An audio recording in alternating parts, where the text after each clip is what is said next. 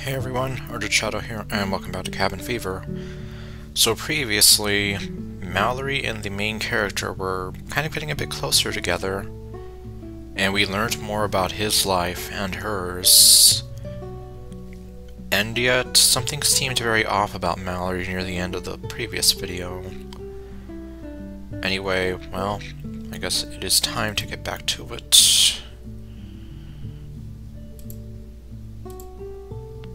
Let's see, how many... Yeah, so there's 18 save slots and I've used up 10, so... Alright, well I guess let's get to it, like I said.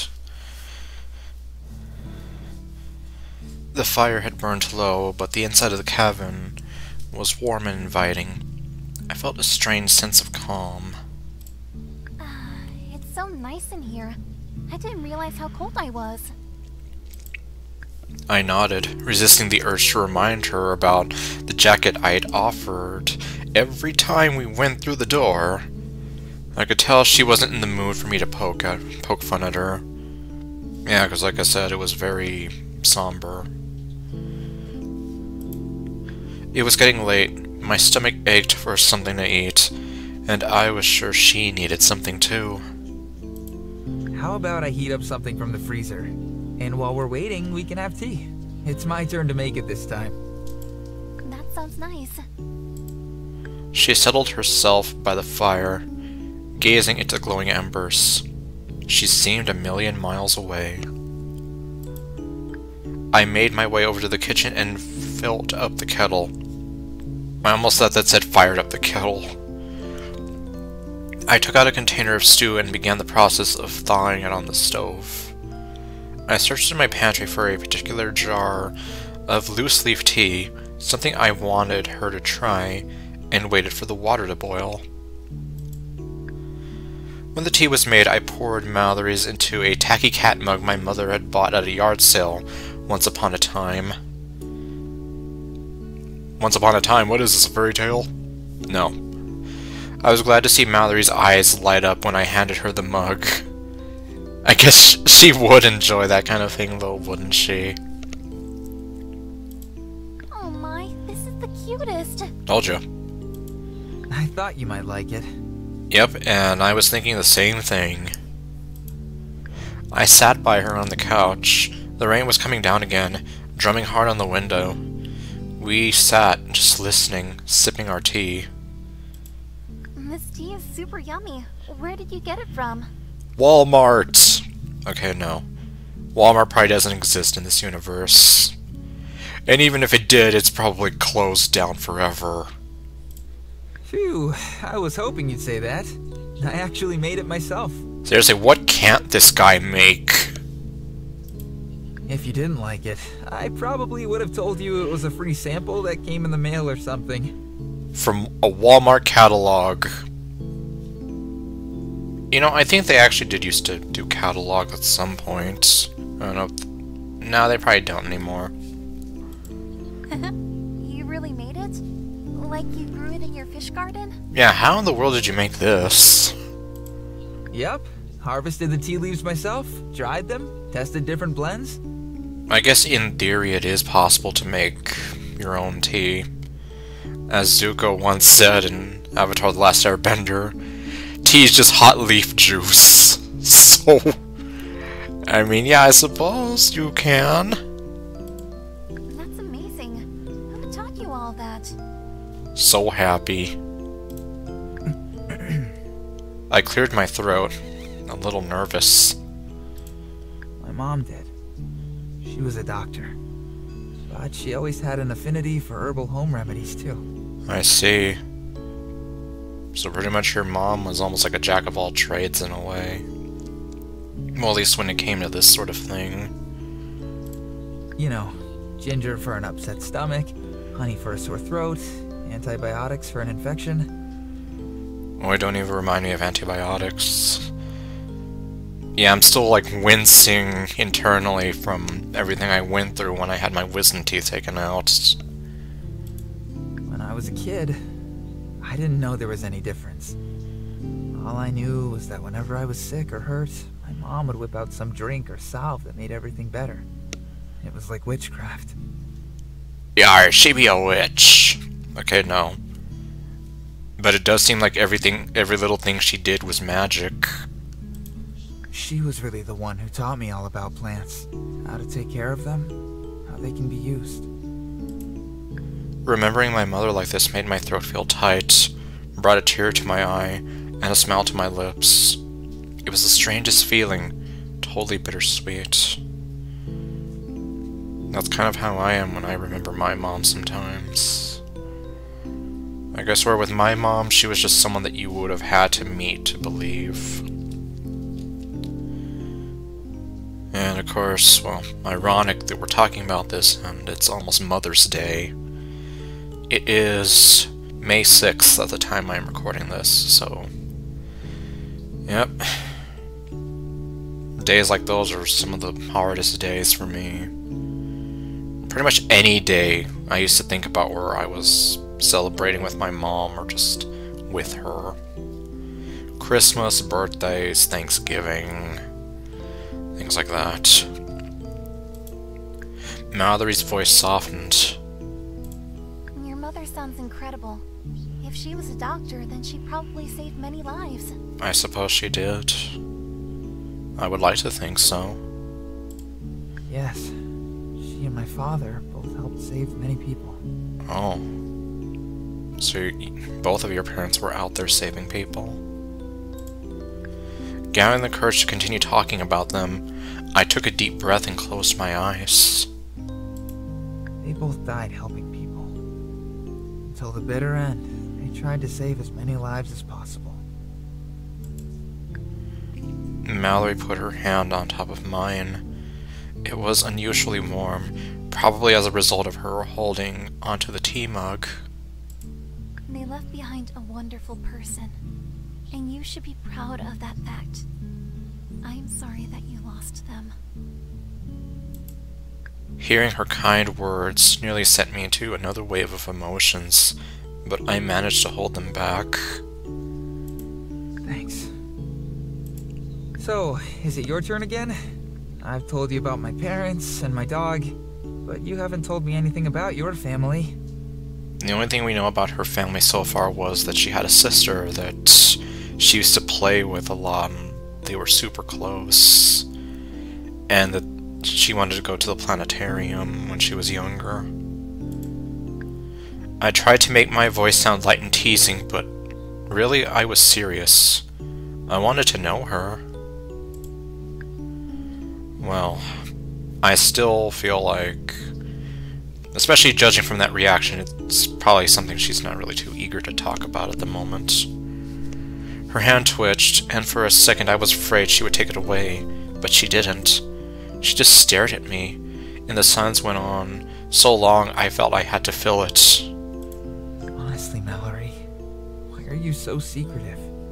Why can't you tell me what you were doing out in the rain that night?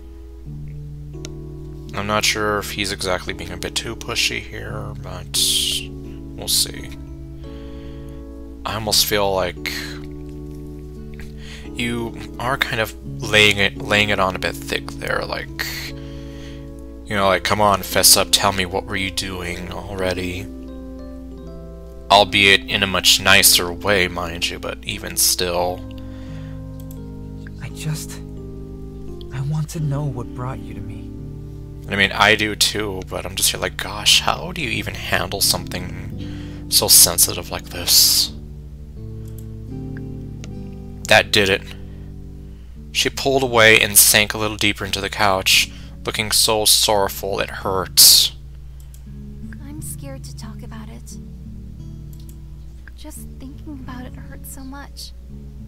And I'm afraid that if I say it out loud, I won't be able to take the pain. I frowned. I understand. But if you share it with someone who cares about you, then they'll carry some of that pain too. You won't have to shoulder it alone. I suppose when you think about it, it's almost a bit of tough love, as some people might put it. I guess when you consider the fact that I'm very, like, I don't like confrontation or conflict, and I've always tried to be like very peaceful and caring and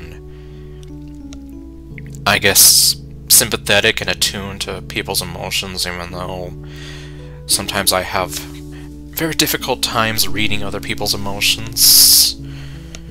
It just makes me feel like, yeah, is that really the right thing to say to her? But then, of course, look who's talking, this the same person who has so many issues talking to people that... Uh, yeah, social anxiety is not fun. That someone is me, by the way. In case it wasn't obvious. Really, I thought it was your imaginary friend named Hugo. She smiled softly. I do want you to know me. To know about them. My family. But you still have a lot of... There's just some things you don't feel ready to share, is there? Life was hard, but I loved them so, so much. It was just me, my mom, and my little sister. That was my bubble. We lived in a two-bedroom apartment. We learned to do a lot with the little. Cooking nice meals out of subpar food, dressing up in old worn-out clothes, reenacting our favorite books when we couldn't read because the power was out again and there was no light. Our mom was a factory worker, so she had to go out every day to earn money for us so that we could at least survive. When she started showing symptoms, they sent her home. She tried to protect us. She stayed in her room, but we still went in. Always trying to get her to eat or drink, giving her aspirin to keep down that awful fever. She kept telling us to stop coming in. We called for an ambulance already, but we were still on the waiting list. And what were we supposed to do? Leave her to die alone in her room?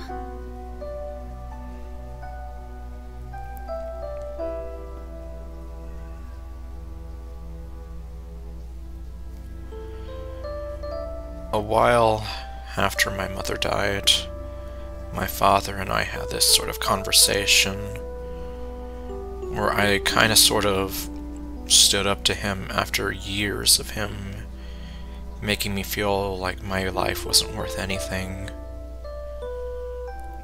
And all the sort of bullying that he did that made me feel like I didn't mean anything. And one of the things he told me was how this is basically what I should have done with my mother. We didn't have anybody else, it was just me and her. There was no way that... With all the things going on with her, there was no telling what we could have done different, but I still wanted to be there for her and take care of her to the best of my ability. So to that extent, I did not want to leave her by herself ever. And he basically told me that I should have just walked out on my mother and left her to die. And that made me really angry. So I told him, as civilly as I could, that I was not going to abandon my mother, not when she needed me and not when she was not when I was all that she had.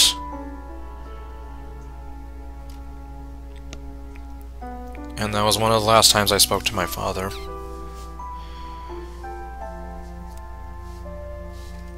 So obviously, Mallory and her family obviously had their heart in the right place. My father, not so much. So that's why this kind of just struck a chord with me just now, and I'm just here remembering what he told me. And I'm just here like, I couldn't do that to her. She needed me. There was no way she was going to be able to take care of herself. There were times when she couldn't even get out of bed. She literally needed me, and I was not going to abandon her.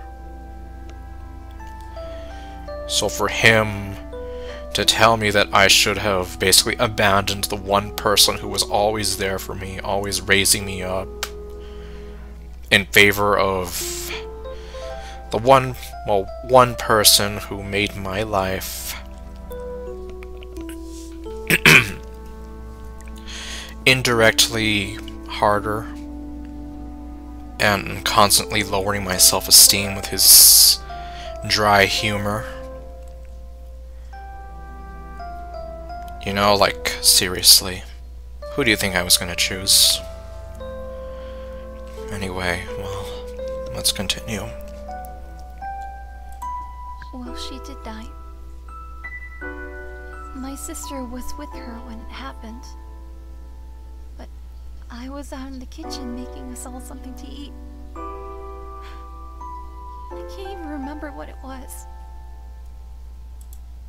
A tear ran down Mallory's cheek. By the time it was our turn for was only to take away a body. My sister and I, we didn't know what to do. How were we going to be able to buy food or pay for electricity? We were at the mercy of companies already struggling to produce anything. Factories in the middle of shutdowns due to waves of sickness. And it just seemed hopeless. But, you know, we had learned about people living outside the cities. Smaller communities living off the land instead of trying to survive the old way. We thought, if that was real, maybe we should just leave the city behind. Somehow figure out a way to be like those people. Like you. I nodded. For a long time, I'd wondered why anyone had ever chosen to stay in the cities. Well, in some cases, that was all they had. That was the only option that they did have. Like, I imagine if they could have just gotten up and walked away to live off the land, I imagine they would have done it in a heartbeat, but that's easier said than done. So sometimes they don't have a choice. And they have to continue living like that as as terrible as it sounds. Eventually I realized not everyone was lucky enough to have inherited an off-grid cabin like I did. Yeah. You know, some people are like even now especially to get a little bit real like it's even hard to find proper housing sometimes. So I mean imagine I couldn't imagine the impossibility of getting started from scratch. Exactly. It would basically be the equivalent of starting all over again, just leaving your life behind and trying to start from ground zero and build up again, but probably not even knowing what the hell you're doing. So in the end, like, for real, what other choice do you have then? But to stay there and just try to survive however you can. Mallory gripped the edges of her sweater dress so tightly she trembled. About a week after our mom died, my sister gave me some laundry she just finished washing. She asked me to hang it out on the balcony to dry. And while I did that, she locked me outside. What? I thought it was a prank at first. But she wouldn't let me in, and I got upset. I was banging on the door, yelling at her through the glass to open up. She told me she couldn't because she was sick. She'd started developing symptoms the night before, and she struggled with it all night and all morning. And finally, her to open the door. She refused. She said there was no safe way for us to stay together. Our mother's attempts to protect us hadn't worked. So my sister decided to take drastic action while she could. She wanted to spare you from getting sick. My heart sank like a stone with every word she spoke. Locked you out to save you. Exactly. As cruel as it sounds, she only did that because she didn't want Mallory to get sick. She didn't want her to end up like the mom did. Or possibly how she could have possibly ended up herself. Obviously we don't quite know what happened to the sister yet, but... Well, you can only infer, right? Mallory nodded, slowly.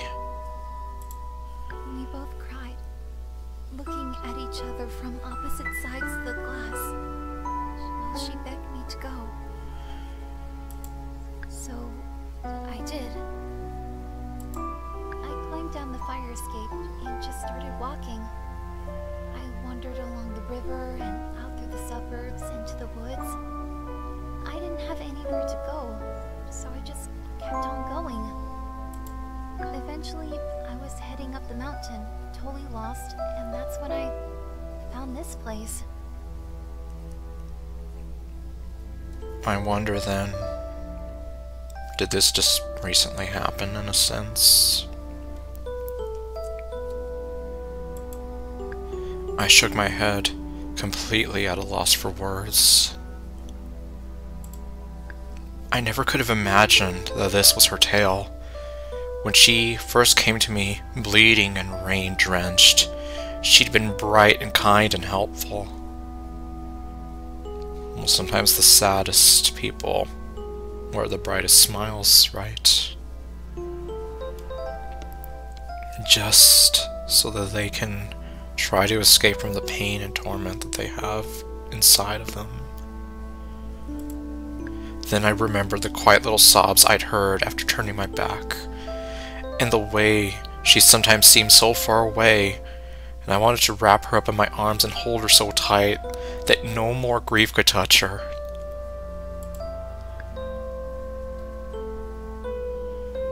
Well, you see what I mean? That's pretty much what she's doing. She's just trying to smile through all the sadness and, you know, be brave. She turned and smiled at me through her tears, and I realized how good she was at putting on that brave, optimistic face. I still think that maybe, somehow, my sister's okay. Maybe she called for help and they came in time and found room for her in a hospital ward, and she's fighting right now to pull through. I wonder if this was fate all along. I found you, you taught me all these things. And we're all going to be just fine. Stunned by her words, I slid off the couch and knelt before her. My body acted on its own. Relieved that she was safe, here with me, I took her hands in mine to reassure her. I think you're right. I think it was fate. Because as much as you needed someone like me, I needed someone like you even more. I felt like I was drowning in her eyes. The rain was beating down outside, roaring louder as gusts of wind sent torrents crashing against the cabin. I felt this closeness with her, and I hungered for more. More talking, more banter, more laughter, more time, more touching, more everything. Through the noise of the rain, I heard the pot of stew I left on the stove starting to bubble. I should check that. Mallory wiped her tears as I got up and returned to the kitchen. The stew had thawed and heated through quite nicely, especially considering I'd left it unattended for so long. Yeah, and you especially don't want to risk burning down the whole cabin, am I right? Imagine how awkward it would have been to serve her burnt food after that whole talk, snorted my brain. Or imagine how awkward it would have been to have burned the whole cabin down. I brought Mallory a bowl. She thanked me. We sat and ate and talked a little, the conversation growing lighter as the cabin darkened. The storm kept on and on outside, and as soon as claps of and soon rolling claps of thunder were shaking the sky. Mallory's face grew paler as the noise grew. She set her empty bowl aside and shifted uncomfortably, eyes glistening. It's gotten pretty late. I guess we should go to sleep. Perhaps we should. Are you okay? Oh, totally. I just feel a little on edge during storms, that's all. No big deal. It's really, really fine. Well, I guess we'll see. Okay. Well, there's the crank flashlight on the desk over by the door, if you feel like you need some backup light. And you know I'm just upstairs. Good night, Mallory. I climbed upstairs, got undressed, and crawled into bed.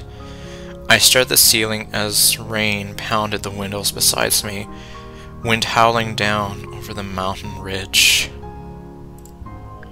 I thought about everything Mallory had told me and everything that had happened between us over the past few days. I turned off the light. Slowly, slowly I drifted towards sleep, less and layer, less and less aware of the flashes of lightning and booming thunder. I started to dream without fully realizing it, imagining my old house cat, Fidget, had crawled into the into the bed with me, imagining that my bed was floating on ocean waves.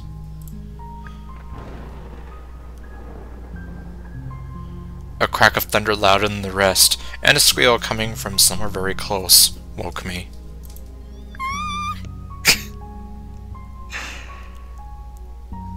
yeah, she definitely.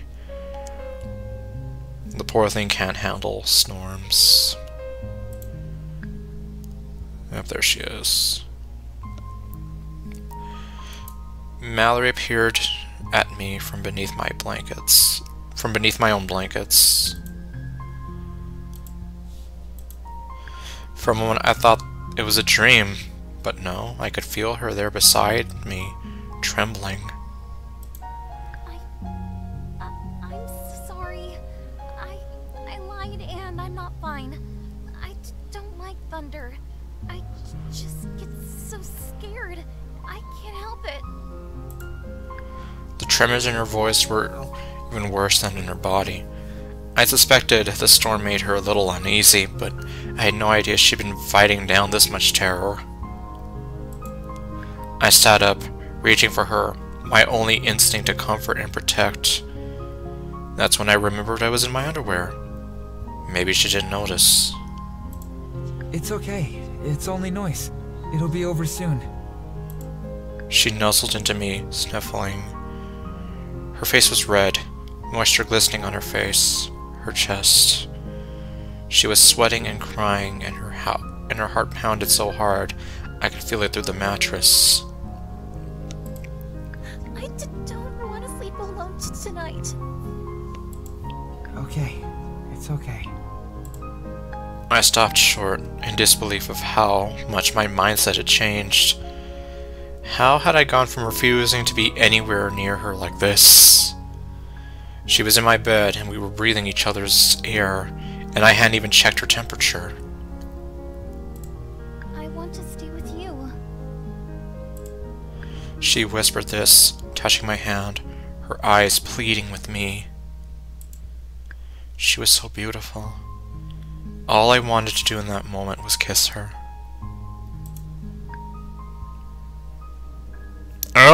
Oh, damn it. This is one moment where I don't like I wish I could just choose the right option, but Nope, I have to torture myself like this.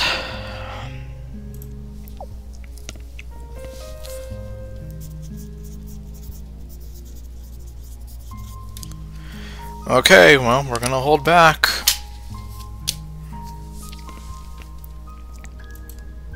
I decided not to move, too afraid of ruining this already perfect moment. She had come to me for safety and comfort, and I wanted to give her that. Or give that to her. Of course, of course you can stay. Get comfortable, okay? Let's look at her. She shifted closer to me, resting her head on the pillow next to mine. She sniffled, giving me a soft smile as I stroked her hair. Thank you for everything. You make me feel so safe. I watched Mallory's eyes fall shut. Her breathing became deep and slow. And though she'd fallen asleep, that little smile never faded. I kept stroking her hair. It felt so soft between my fingers. I was hypnotized. How had I lived all alone for so long? How had I not known what I was missing? As the storm gradually retreated and the night grew darker and quieter, I struggled to keep my eyes open. Maybe I was a little afraid that if I let myself fall asleep, I'd wake up to find this was all a dream, but eventually I fell asleep anyway.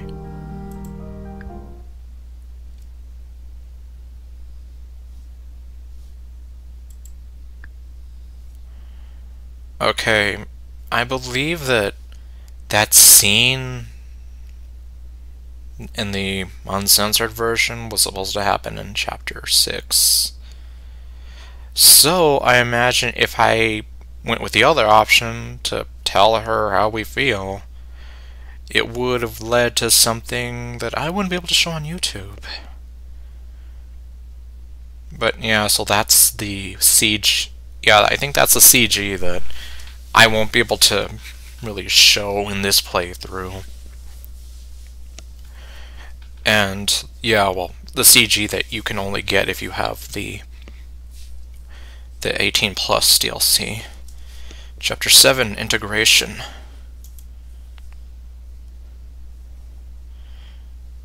The next morning I awoke to the sound of rain softly pelting the windows.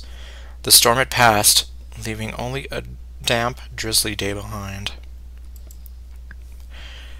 I kept my eyes closed and listened. I could hear the faint sound of the rain dripping from the downspout along the house. I stretched out my arms. The bed around me was empty and cold. Mallory was gone, but I knew she was there because I could still feel her on my skin. The cabin felt extra chilly. I got out of bed and dressed up warm. Pulling on a pair of worn out slippers, I made my way downstairs. Okay, well, at least she's still here. Right away I spotted Mallory in the kitchen, and I felt my face break into a smile. She had a bucket and a bunch of rags out, and she seemed to be cleaning quite furiously with a cloth and a spray bottle in hand. Good morning. She startled upright, fumbling and dropping the spray bottle. It clattered to the floor at her feet. Ah, you scared me. Sorry, sorry. I guess these slippers add plus one to my sneak ability. This is Snake. I'm done here. Otacon, what's going on here?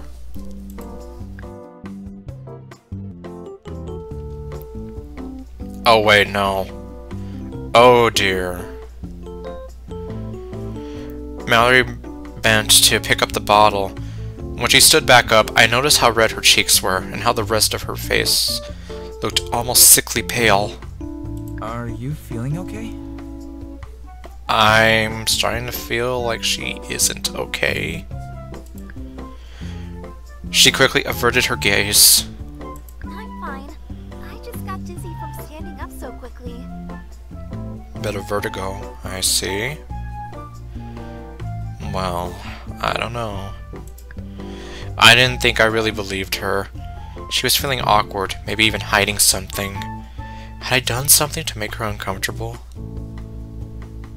I don't think so.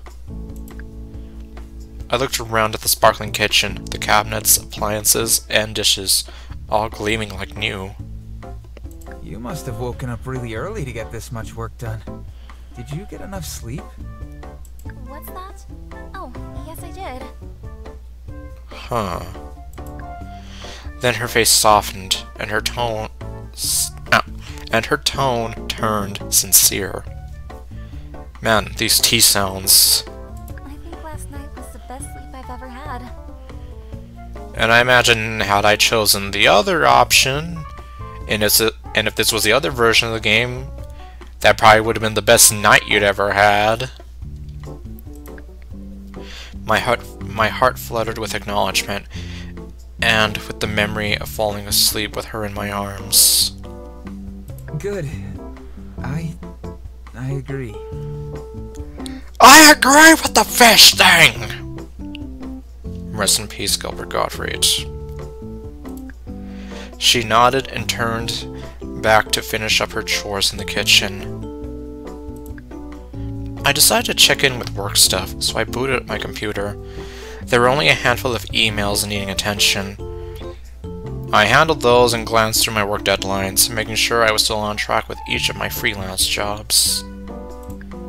For whatever reason, I wasn't finding it easy to focus. I kept glancing out the window, then zoning out as I watched the dribbling rain. It really showed no signs of stopping. I'd noticed an empty glass I'd left on the table outside was filled to the brim with rainwater. The soaked wooden planks of the deck looked dark like caramel. I thought about the coming winter. I'd have to show Mallory how to protect the garden and the hens and the bees when the colder weather came. Wait, there's bees? And then there were all the fun things we could do together. I wondered if she'd ever gone tobogganing before, or had a bonfire out in the snow. If I could find somewhere online to buy marshmallows and order them right away, they might get dropped off sometime in the winter. Oh my god. There came a sudden clatter and a thud from the kitchen. I nearly, I jumped, nearly knocking my coffee mug off the desk. Mallory? She didn't answer. I stood up quickly, walking over to see what happened. My throat tightened when I looked past the counter. Oh my... Why do I have to see this? I don't want to see this. Mallory lay sprawled on the floor, her cheeks red and beads of sweat gleaming on her forehead. Her eyes were closed, her head gently lolling to the side. Mallory! I rushed to her side, dropping to my knees and propping her up in my arms. The touch of her skin warmed my hands. She was burning up. A groan left her lips and her eyes fluttered open. Mallory, are you okay?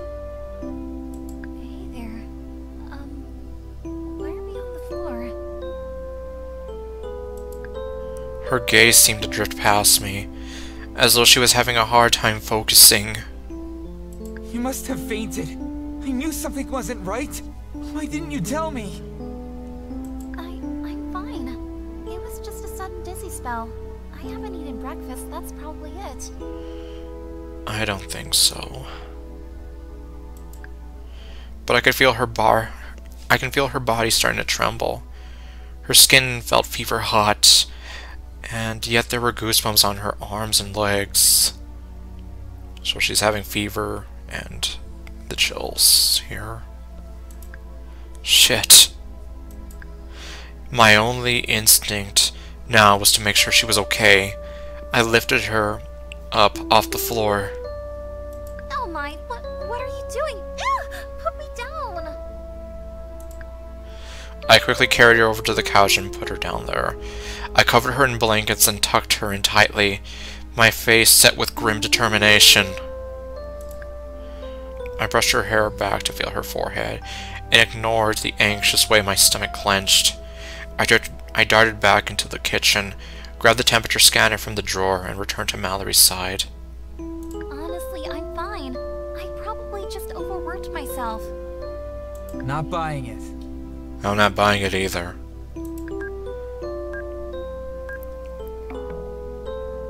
Oh god, that's not a good sound. I held up the scanner. It seemed to take forever and ever to come up with a reading, and when it did, my heart sank. You definitely have a fever. Mallory seemed to shrink under the blankets. Seeing her like this, looking so helpless and uncertain, made my heart feel like it was being painfully squeezed. Is it your leg? Let me look at it. Maybe you've developed an infection. When did you start feeling sick? This morning?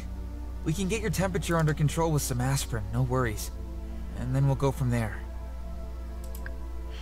I didn't know when I had started to pace, but there I was, heading this way and that, making my way over to the kitchen to search for whatever it was that could help her.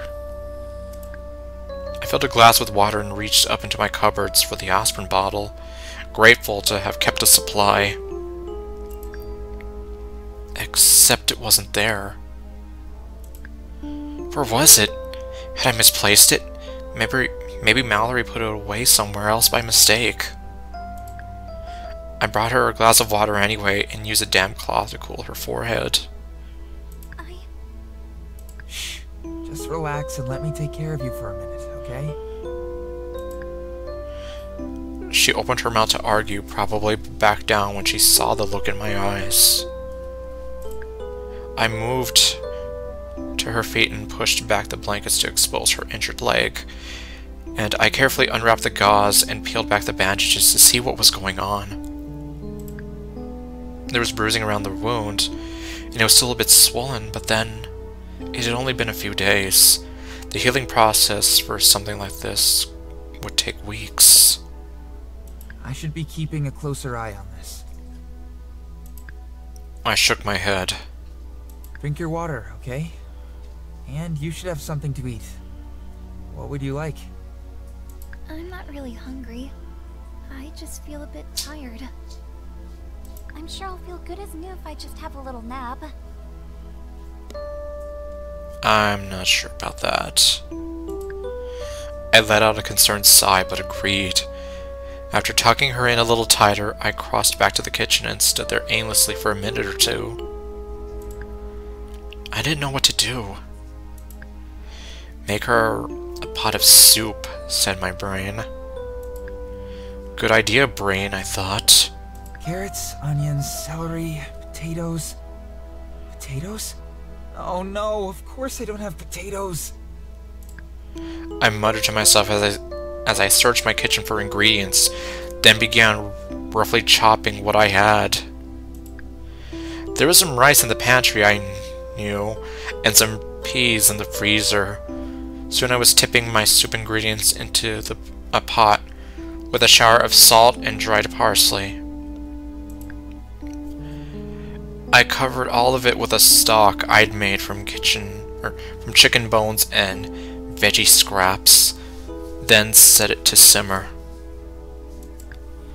When I crept back over to check on Mallory, I found her deeply asleep. I exchanged the damp cloth on her forehead and piled more blankets around her, then just sat and watched her, feeling dismayed. Deep down I knew what this could be. But I didn't want to think about that.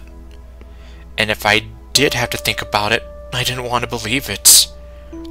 And if I had every reason to believe it. No. I stood up and returned to the kitchen, gave the bubbling soup a stir, and remembered the aspirin. I started searching for it again, checking each of the drawers and cabinets. I searched in the bathroom and in the living room, even getting down on my knees to see if it had rolled beneath some furniture. That's when I spotted it, hidden beneath the couch where Mallory was resting. I reached under the couch and grabbed the bottle. A feeling of immense dread began to form within me. She already had some of the aspirin, didn't she? Already I could tell by the weight of the bottle and the silence as I turned it, but I had to see it to believe it. I popped off the cap and looked inside. The bottle was empty. At least 20, maybe 30 tablets gone in less than a week. I looked up at Mallory's sleeping face. I jumped at a loud thwack on the window. Irrationally, I wondered if someone had thrown a rock. It was more likely that a bird had flown into the, into the glass, especially considering how clean it had been since Mallory came to stay. I went to the window to check. Sure enough, a large black bird lay dead on the porch. It appeared to have snapped its neck when it hit the window. Fuck. I glanced back at her, a little worried I'd wake her up by talking to myself, but even the loud noise of the bird hitting the window hadn't caused her to stir. In that moment, I realized I was still clutching the empty aspirin bottle. I looked down at it. Yeah, so it seems like the whole time she was probably in a sense, taking as much aspirin as she could. Probably when he wasn't around. And now there isn't anymore, and well now it's it's looking pretty bad. To say the least. She must have been taking them in secret. Now you see. But why? For the pain in her leg? Or for some other ailment? An overwhelming sense of frustration washed over me in that moment, and without thinking my hand squeezed the bottle so tightly that it broke. I threw the broken bottle in the trash and stormed outside to deal with the dead bird's body.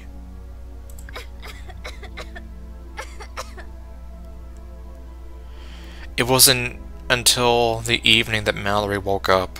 She started coughing right away, even as she sat up clutching the blankets to herself, close to herself.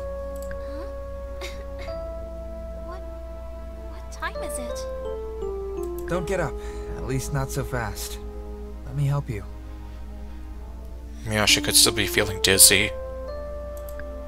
I stood in the kitchen, tending the soup that had been keeping warm for hours. Mallory looked around, groggily, rubbing her eyes. But it's nighttime. Why did you let me sleep so long? I only wanted to rest for an hour or so. That's not what your body wanted. I'm glad you got some rest anyway. It was clearly much needed. Though I told her not to move yet, she bundled the, the blankets around her and made her way over to the kitchen. Hi. Well... I would comment on how she looks pretty alluring here, but I'm too busy being worried about her to even think too much about that. She leaned against a support beam. Her cheeks were still red, and her eyelids looked heavy. The way she wrapped the blanket around herself made her resemble a colorful turtle, with her long, slender arms poking out to hold onto the beam. How do you feel?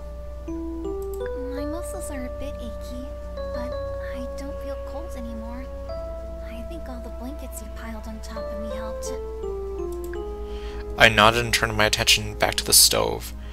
I wanted to ask about the aspirin, but I was nervous. Yeah, I mean... Damn, this is another tough spot. Well, I mean, especially because she's obviously not feeling well, and I mean, I almost feel like saying, now isn't the time to be playing 20 questions with her or whatever. She took a step forward. Uh, she took a step towards me, trying to peer into the pot, then wobbled and had to return to the support beam. It looked as though she barely had any strength to stand. I bit my tongue, not wanting to be overbearing. I'd get her to sit back down by offering her some food. I am. It's ready to eat now. Go have a seat and I'll bring you a bowl. I half expected her to argue, to insist she could get her own bowl or that I should sit while she served me, but instead she just backed away and went to sit at the table. It looks really good. Thank you for making it. My pleasure. I bet you thought I had no cooking skills. Well, it's finally my time to shine. Time to shine. She laughed half-heartedly.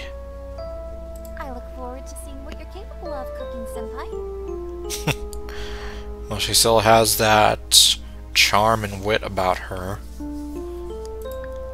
She folded her blanket neatly over the chair beside her, then placed her arms on the table to form a pillow for her head.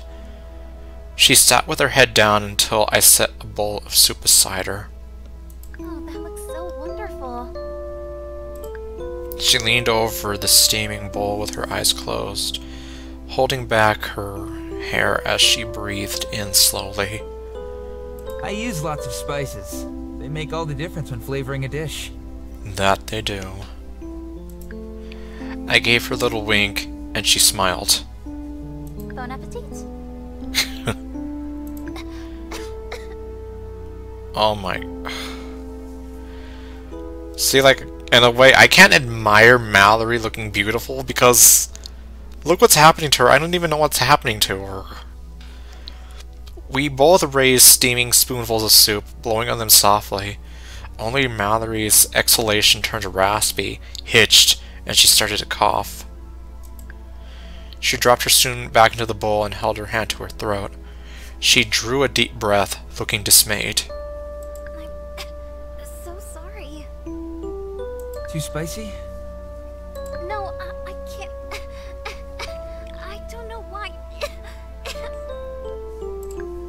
Mallory tried her best to stifle the coughs with little success.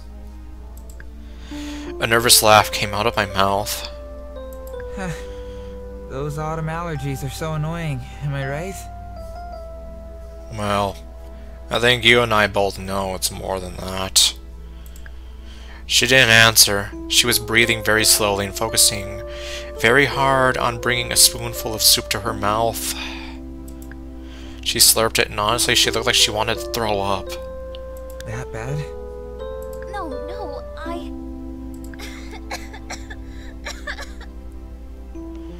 She was racked with another coughing fit. Her chest seemed to rattle with each breath. I couldn't stand seeing her like this. I went to her, rubbing her back as I pushed a glass of water into her hands. Here, drink some. She nodded and clutched the glass hard, trying her best to drink while her chest heaved. A minute later, after she'd managed to take a few sips, she was able to breathe a little more easily. I'm so sorry. I can't seem to stop. You don't have to be sorry. There's nothing to feel sorry for. Tears began to roll down her face. They splashed onto the table and into her neglected soup bowl. What if. Shh.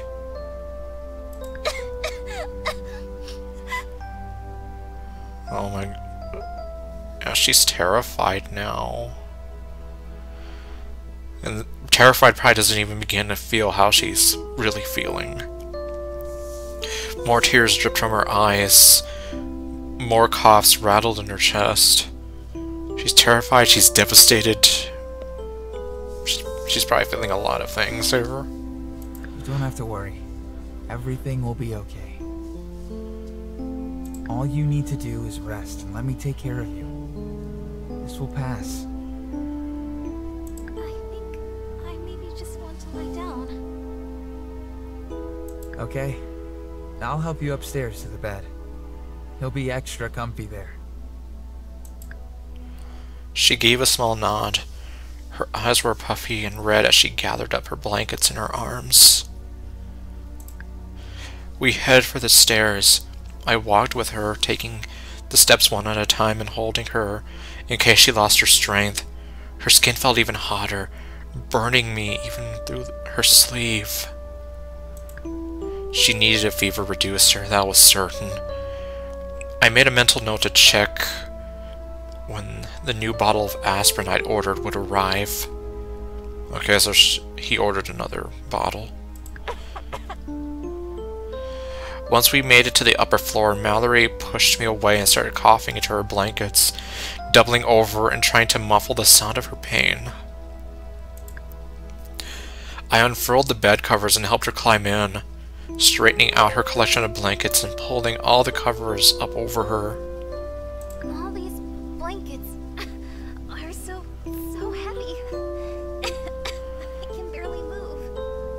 Good. That means you're tucked in, safe and sound. I brushed her hair back, tracing the side of her burning face with my fingertips. I'm going to get you some water and things. And then I'll be back, okay? I hurried back downstairs and started loading up a tray with water, a few damp face cloths, and her uneaten bowl of soup. I wanted her to have it right there beside her, the minute she had an appetite. But of course that wouldn't be enough. I racked my brain for anything I had in the house to help her to help drive down her fever. Then it hit me. My mother used to talk about the healing properties of basil and garlic. Basil and garlic. I couldn't quite recall the specifics, but it was something.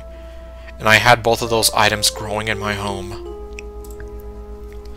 I rushed over to the kitchen to fill the kettle with water. While that was coming up to boil, I darted to the aquaponics room. There were four medium-sized basil plants sitting happily under their grow lights, waiting for me to harvest their emerald petals. In that moment, my heart inflated twice its size, full of joy that I might be able to do something to help soothe Mallory's pain.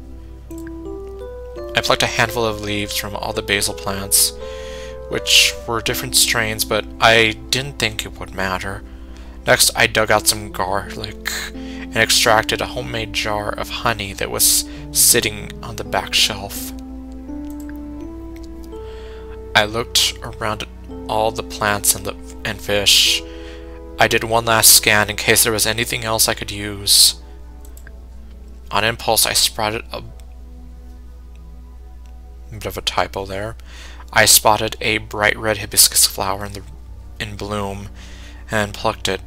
The lone flower had an unusually bright color amongst all the other dark leafy greens. Dashing back into the kitchen, I added the garlic, basil, and honey to the boiling water.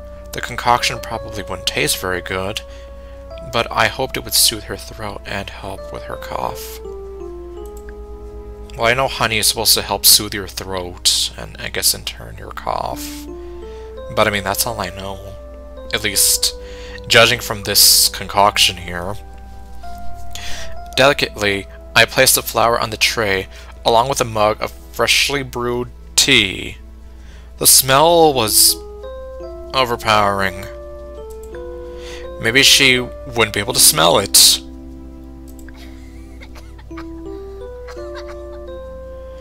Ascending the stairs, I could hear Mallory coughing. She wasn't trying to stifle it anymore. Uh, I paused on the steps, waiting for her to finish letting it out. A small groan followed the coughing fit. I climbed the rest of the way up the stairs, plastering what I hoped was an optimistic expression on my face. Hey, I'm back. And I brought you your soup, in case you have an appetite. Also, some tea that should help with that cough. Tea, air quotes. She pulled back, or she pulled up the covers close to her face in a poor attempt to hide herself. I rested the tray next to the bed and placed one of the damp cloths on her forehead. Man. In the dim light of the bedside lamp, I could see trickles of sweat on her face, neck, and breasts.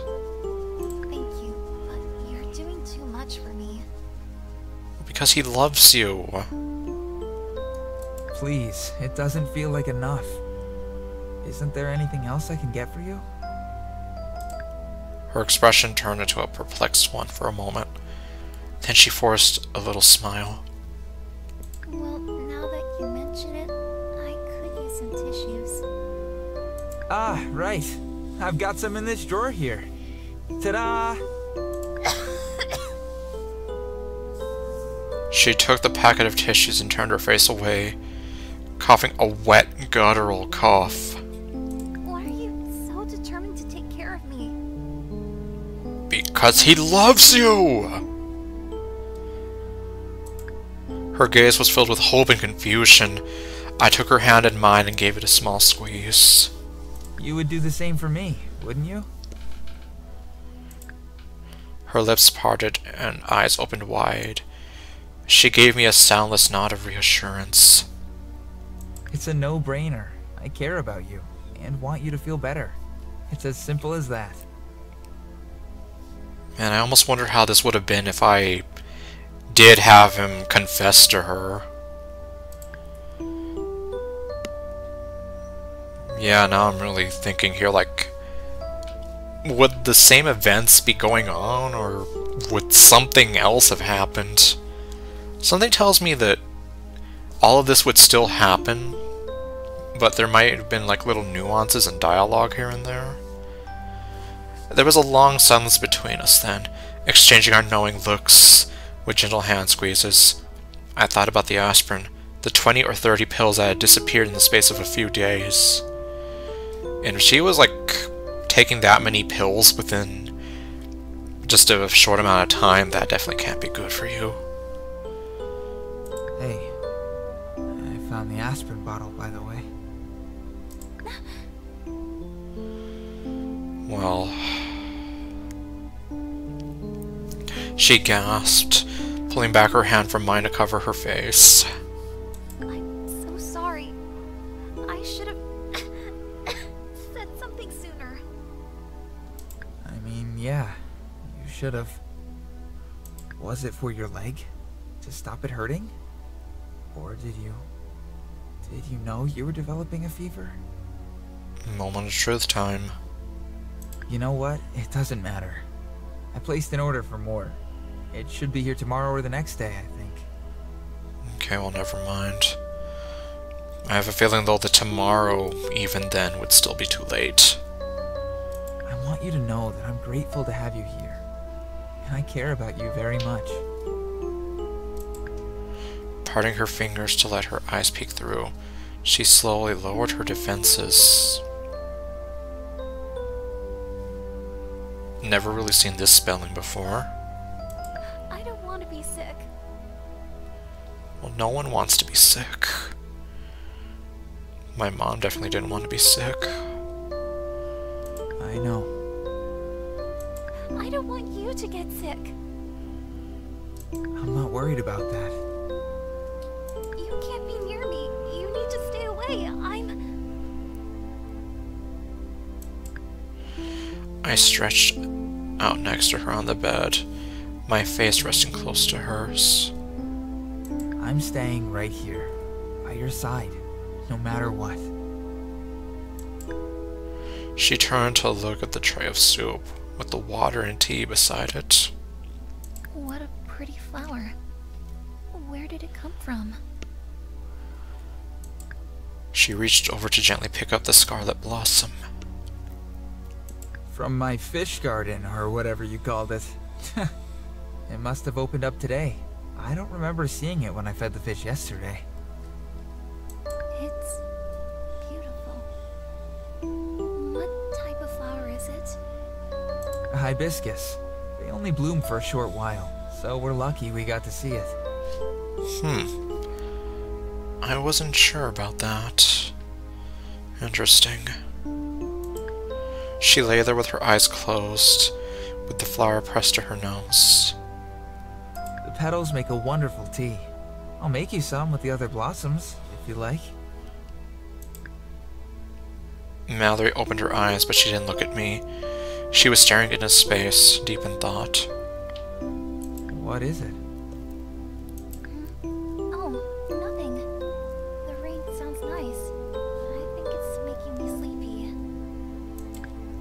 I didn't quite believe that. It seemed like there were, was something she didn't want to say. Unfortunately, it seems like she she's had a lot of secrets that she's kept guarded. But I couldn't push her now. Yeah, now isn't the time for that. That's perfectly alright. You have sweet dreams now. Good night. Good night.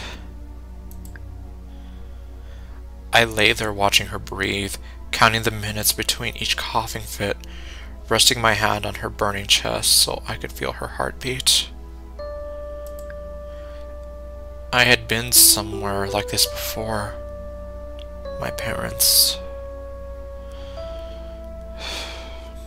Man, so... I guess in a sense he was forced to watch his parents literally die, and well, I was forced to watch my mom die. And it sucks because you feel so damn powerless and you want to do something, but you don't know what.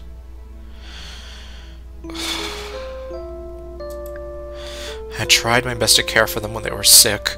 I'd been so afraid, but I hadn't gotten sick. A part of me almost wondered, even hoped, that I might be immune. That thought in the back of my mind had eased my fear of strangers. Of Mallory when she first appeared in my life. But now, now, I didn't care. Either way, all I wanted was for her to get better. Eventually I drifted off to sleep too.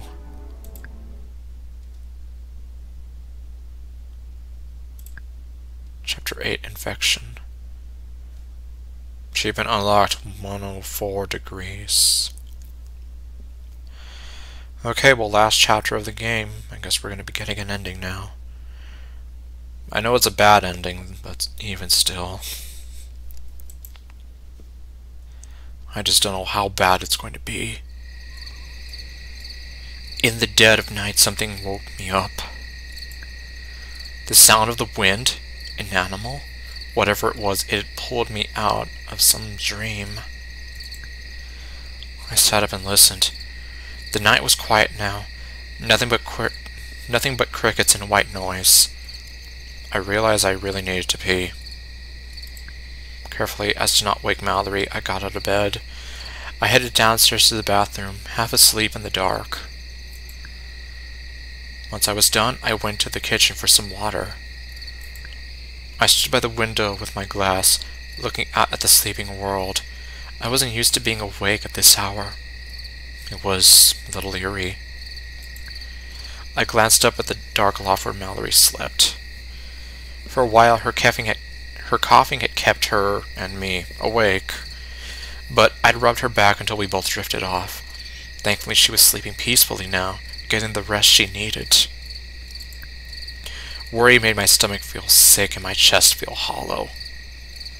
There's no way I'm getting back to sleep now. I would have been amazed if you could even sleep after all this. I paced back and forth for a minute, dragging my hands through my face. I needed a distraction, something to shut down my brain, or at least get rid of this nervous energy. Shaking my head, I went to my desk and dropped into my chair. Computers were, were usually pretty distracting. I turned on the monitor and pulled out my keyboard. It was a membrane keyboard, so I wouldn't have to worry about making too much noise with my typing. Huh. Maybe I should look into getting one of those someday. There were more emails waiting in my inbox. One was from a colleague who worked out of Vietnam. The time difference would have meant it was late in the afternoon over there, so she was probably wrapping up her workday as I sat there in the darkest hour of night. The subject... What? The subject line read, Remedy distribution underway. Just reading it made my blood boil. I was so sick of these empty promises, and for what?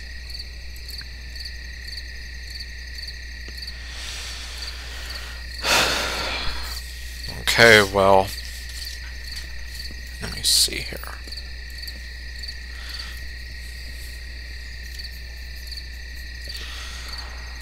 Okay, well, this is...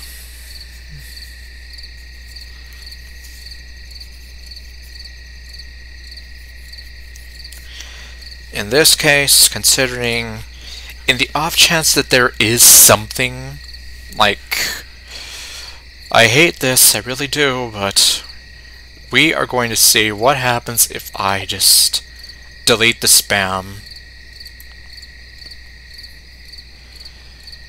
In the off chance that this is actually like the real deal, and I basically just screwed us over to get possibly one of the worst endings I could possibly be going for here. Ugh. I dragged the email to the trash bin and then emptied the trash bin for good measure. Then I shot to my feet, shoving my chair back aggressively. I hadn't even known how angry and helpless it felt until that moment. Or I felt. I looked outside again. It had stopped raining, but there were streaks of water on the windows. It looked like the cabin was crying. What would I do if Mallory didn't pull through this? If it really was the virus making her sick, the chances of her getting better were... I couldn't even finish the thought. I took a deep, trembling breath. Maybe some fresh air would help. Fresh air always helped. I turned and looked around for my jacket. Instead, the watery eyes... Instead, my watery eyes caught sight of something resting on the table.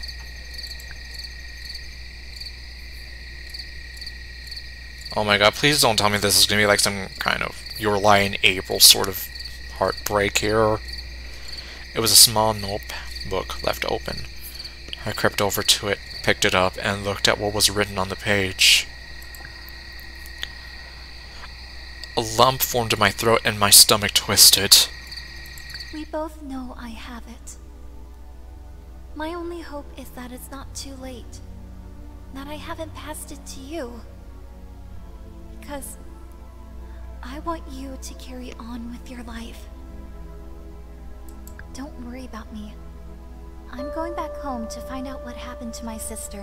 Whatever the answer is, I'm comforted to know we'll see each other again soon. I hope you know I would have stayed with you forever. But I'm thankful we had the time that we did. Love, Mallory. I stared at the letter.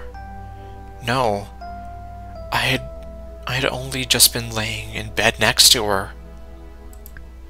I scanned the letter from top to bottom again and again, then heard my voice ringing out. Mallory? The cabin remained silent. My face felt cold. The paper rattled in my trembling hand as I crossed to the base of the stairs. Mallory? Please say something. Still no reply. This had to be a dream. Just a terrible dream brought on by stress. I'd definitely been stressed the past couple of days, hadn't I? One step at a time I climbed upstairs. Of course she would be there, sleeping soundly under all those heavy blankets. I would have noticed if she wasn't there when I got up, wouldn't I? I reached the loft, which didn't seem nearly as pitch black now that my eyes had adjusted to the darkness. I looked at the bed. Mallory was gone. I knew it wasn't a dream then. She had really left. And I had slept through it. I crumpled the paper in my hand, forming a tight fist. In that moment, I was ready to put a hole through my wall. My heart was racing, I couldn't think straight. Damn it! I had to go after her. She couldn't have made it far, not with her leg and how sick she was. She was deter I was determined to find her, convince her to come back, convince her that we could be together, whatever the circumstances. She needed to know how I felt about her, how much she meant to me. I raced to get dressed, throwing on a sweater and the first pair of pants I found, shoving my feet into some shoes and grabbing the crank-powered flashlight off the, the side table. There wasn't time to think, I just had to move. I burst through the front door and onto the porch, nearly tripping down the steps before racing across the muddy lawn, my feet splashing in puddles. It was a long before I passed the garden and over the hill, heading towards the trees. As I made my way, I shoved my hand into the sweater pocket and pulled out the flashlight, the same one that had led me to Mallory that first night.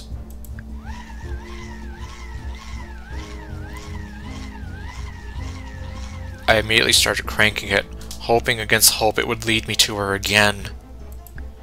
But as I entered the trees, I stopped, hesitating. Mallory's notes said she was heading back to the city to check on her sister. Most likely she'd taken the footpath through the woods, the path she'd taken to get here in the first place. I might be able to catch up to her if I followed, but it depended on how much of a head start she had. If I followed the old driveway instead, I'd eventually make it to the highway. It was a longer path, but a more straightforward one. And if I could manage to flag down a car and get a ride, then I might even reach the city before Mallory did. But what are the odds of that? I had to pick quickly. Oh my... You're still gonna do this to me? Okay, let me see here. Shit. Okay, well, I guess in this case...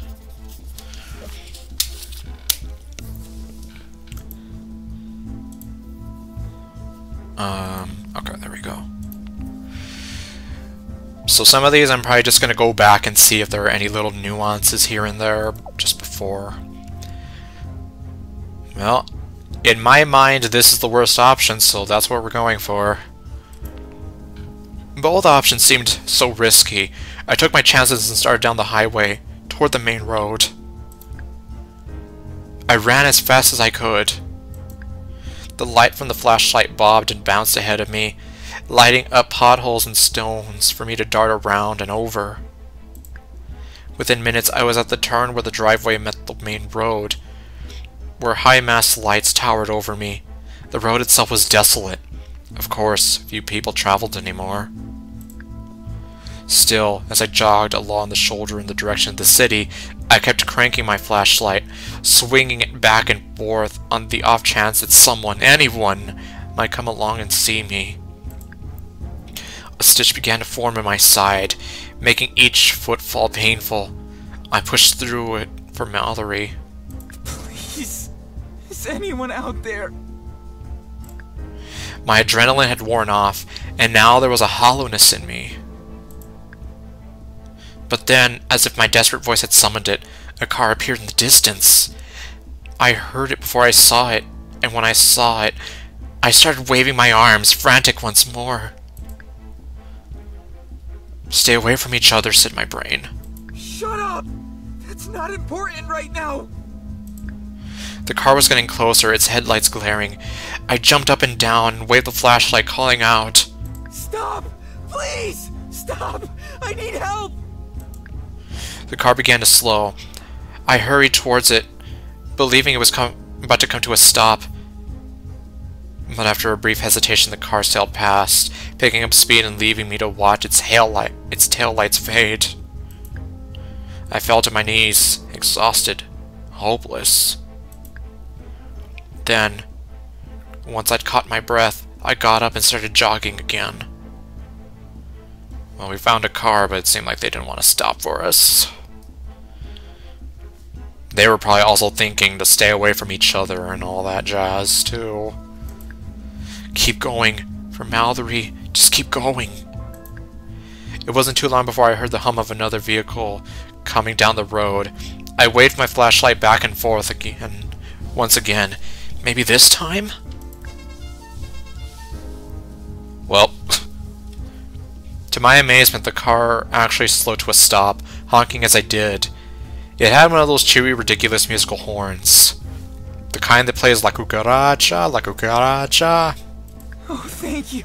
Finally.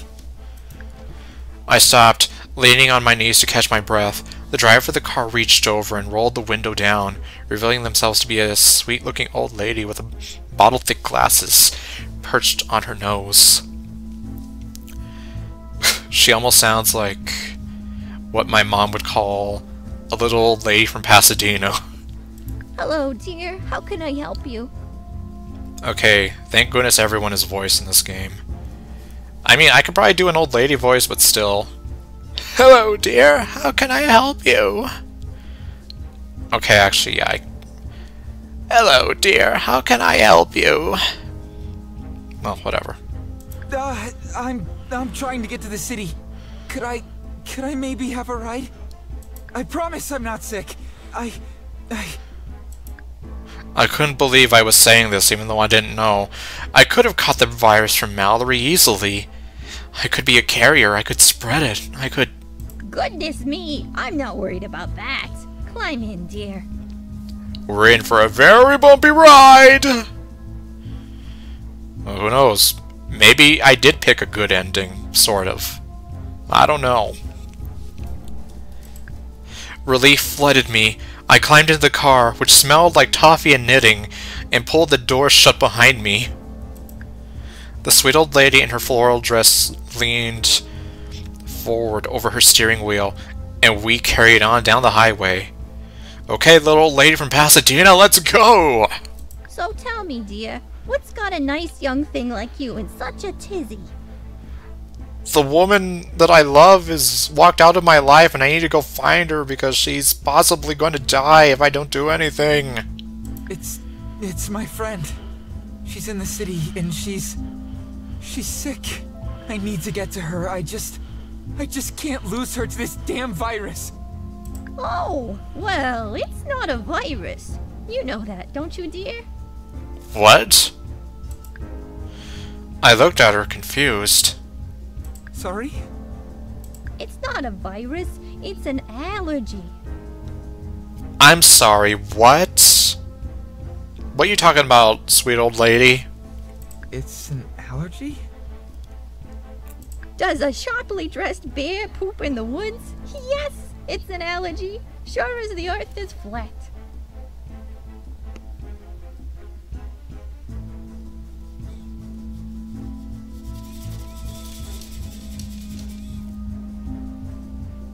Of course she's one of those people!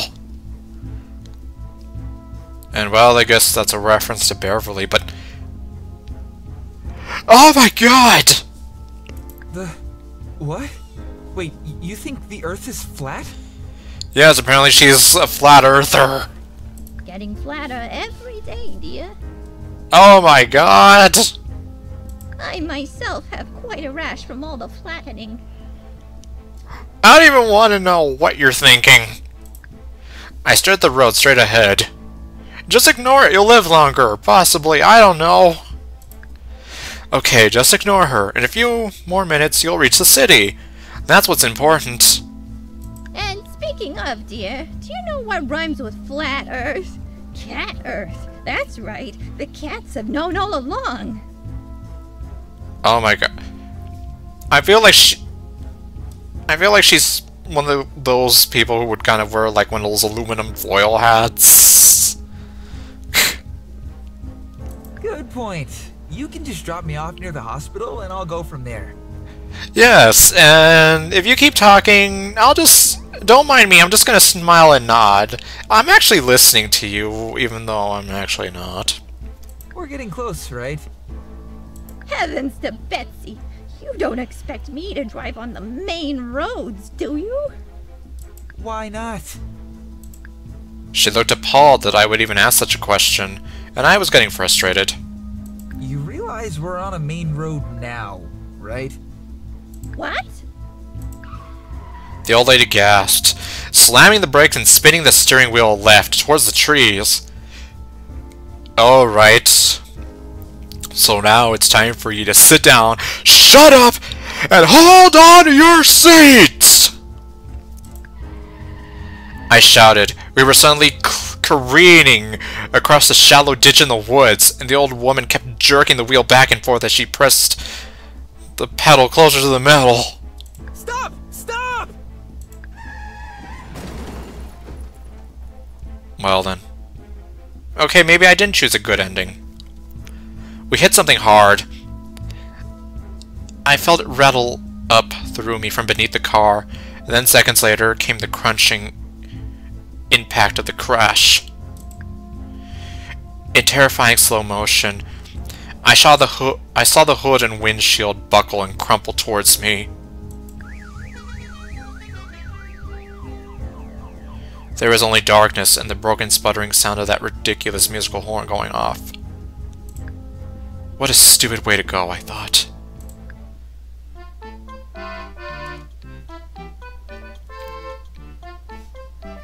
Cat Earth Theory.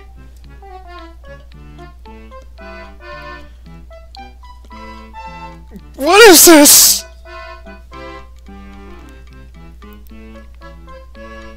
What is this music?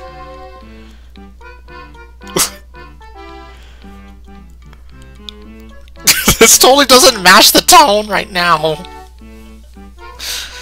Oh my god.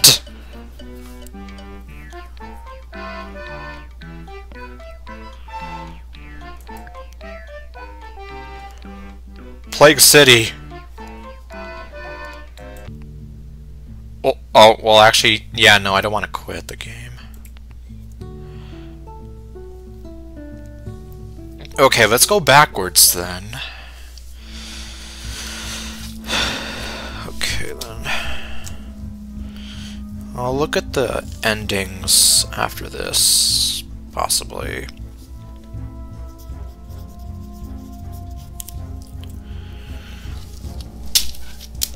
Okay. We're gonna go through the trees. Or actually... Hold on. I already forgot, was there a...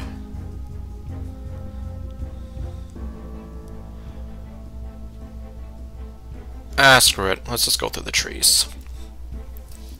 Both options seemed risky. Both options seemed so risky. I took my chances and started down the footpath into the woods. As I ran, I ran as fast as I could over the uneven ground.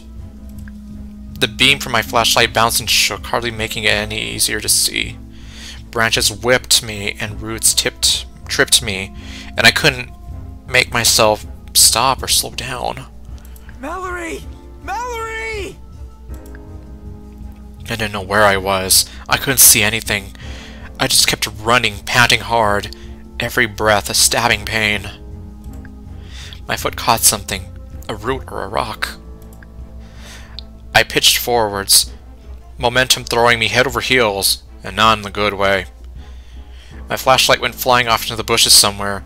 Instead of slamming into the ground, I just seemed to keep falling. I fell for hours. Oh shit. I didn't feel the impact.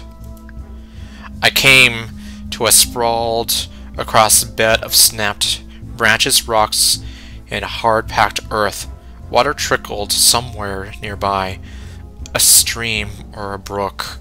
The sky was still dark and everything hurt. I tried to move. Pain stopped me. Something was definitely broken. I managed to crane my neck, blinking my eyes open as wide as I could. The forest sloped up and up overhead, a dizzying sight like an optical illusion. Oh no. No. I had fallen. Fallen, fallen, fallen into a dark ravine. That's what you get for sprinting through a dark forest all willy-nilly.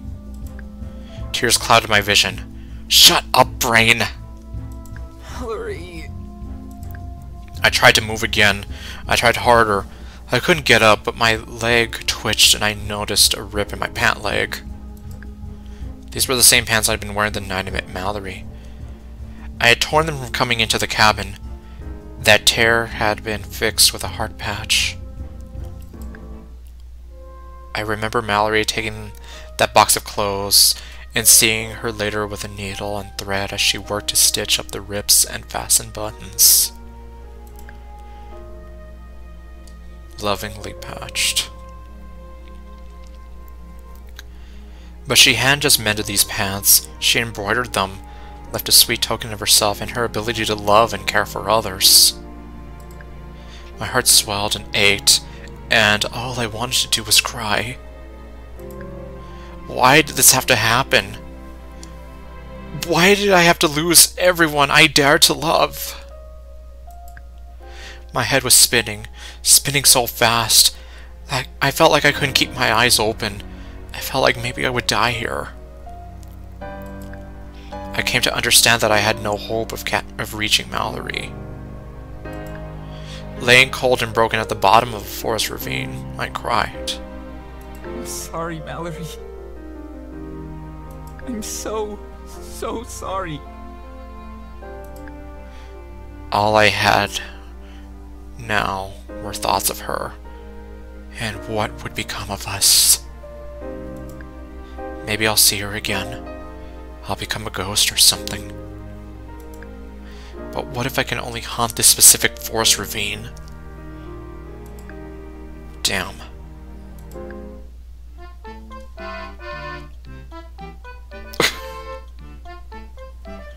Well then.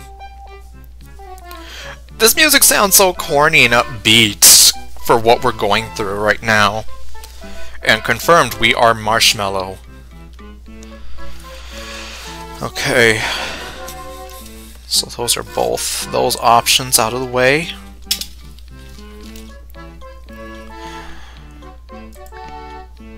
Okay, we're gonna... I think I might just call this here. Just because, yeah, I don't know how much more we could branch off. Okay, yeah, looks like we still have some different things here we could do. So, yeah, so we have this whole page filled up. We're still missing some CGs here, so I'm pretty sure that we could have gotten some different results. And then, as I mentioned, moving the bear trap is one of the key things to getting the bad endings, from what I understood. So, there is that. And then, yeah, some of the first set of bad endings here. I don't believe it, though. Okay, well, in that case... Yeah, so... I guess for the time being, I might continue from certain points. And then we'll just see where I can go from there.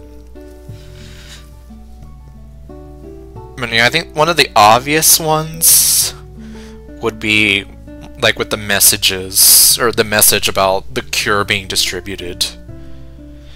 But anyway, so, I, I don't know if these count as bad endings or not. I might have to look into that a little more, find that guide again, and see. Maybe even take note of what choices I do have to make in order to make make clear the path I'm going for whatever endings that there are. We'll see. But anyway, so thank you all for watching, and I'll see you guys next time with whatever else I do. Stay golden, and later, folks.